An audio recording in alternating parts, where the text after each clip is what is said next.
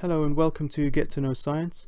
This video is about circular motion, which is an A-level physics topic, and it's part one of two videos on circular motion.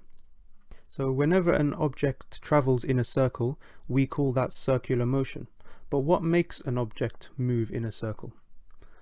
Well, Newton's first law states that an object continues to move in a straight line unless a resultant force acts upon it.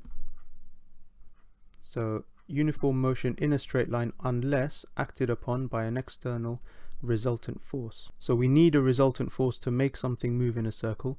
The force always acts inwards towards the center of the circle and it's called the centripetal force. The centripetal force. For example, if we swing a metal ball in a circle, the tension in the rope or in the chain would provide the centripetal force. For the Earth orbiting the Sun, the centripetal force is provided by the, the gravitational pull. And if gravity suddenly turned itself off, the moon would fly off at a tangent in a straight line. Another thing to note about circular motion is that the object travels with constant speed, but changing velocity, and this is due to the constantly changing direction. So velocity is a vector quantity, and even though the speed, the magnitude is the same, the direction is constantly changing, and therefore the velocity is changing. And that means that it's accelerating when you have a change in velocity and it's accelerating due to this resultant force. There are some equations we need to be familiar with for speed, acceleration and force in circular motion. So we'll start with speed. So firstly we can calculate angular speed.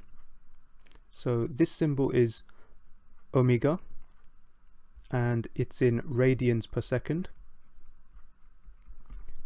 This here is the angle measured in radians and this is time in seconds.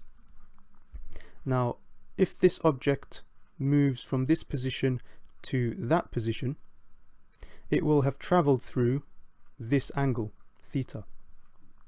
And it would have done it in a time t. So by dividing them we get the angular speed. And of course for one full rotation of this circle the angle is going to be 2 pi radians and the time taken will be the period of this rotation. So these two are both equations that we can use for angular speed. Secondly, we can calculate linear speed at any given instant, which is the speed the object would move at if it were released, and it would move at that speed at a tangent to the circle and this is simply speed equals distance over time.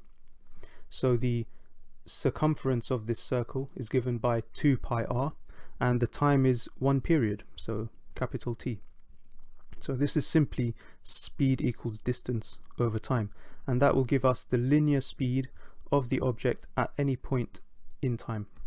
So now the question is, can an object moving in a circle have a different linear speed and angular speed? And the answer is yes. So if we consider two people running around a circular track, so that's one person, this is the next person, and they're running neck and neck in this direction, and they, after 10 seconds, they reach this point, so these are the two people after 10 seconds their angular speed is the same because they've both travelled an angle theta in time 10 seconds. So the angular speed is the same, but is their linear speed the same? Of course not. The person in the outer lane has to travel a longer distance than the person in the inner lane and therefore he has to run faster So the person in the outer lane will have to run faster than the person in the inner lane because he has a larger, a longer distance that he must travel in order to keep up with the person in the inner lane. So even though they've traveled through the same angle, meaning their angular speed is the same, their linear speed is not the same. And linear speed and angular speed are related by this equation, where r is the radius of the circle. Now on to acceleration. There are two factors that affect acceleration. There's the speed and there's the radius of the circle. The faster the speed, the higher the acceleration because you are changing direction quicker.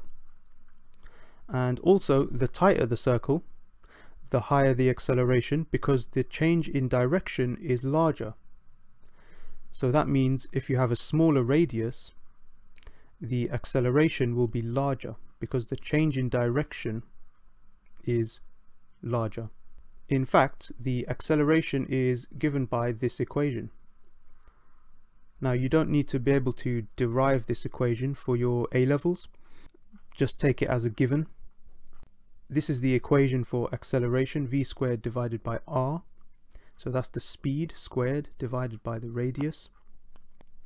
And since we already know that v equals r omega, then we can derive this by combining the two equations and substituting for v. Now for the force it's quite simple. It's just a case of applying F equals ma.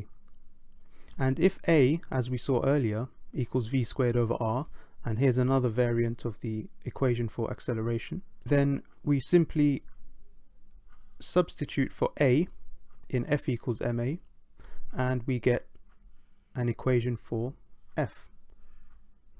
And again, if we use this version of A, then we get this when we substitute into F equals ma.